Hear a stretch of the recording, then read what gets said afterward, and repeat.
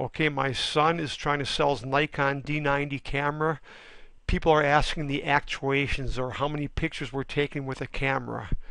What I did is I got to Adobe Photoshop and opened the image and then I hit Alt, Shift, Control, and I and that pops up this window and I it says I clicked on the raw data he sent me a raw file so I clicked on the raw data and it shows you right here serial number, and then it shows you a couple lower image number 34,830 and that's the actuations based on today's date uh, 10 12 uh, 17th he took the picture on the 13th I believe create date on the 13th so his image was 34,830 if you're doing a JPEG I believe you'd click on the advanced and it's about the fourth one down. It would show image number on there.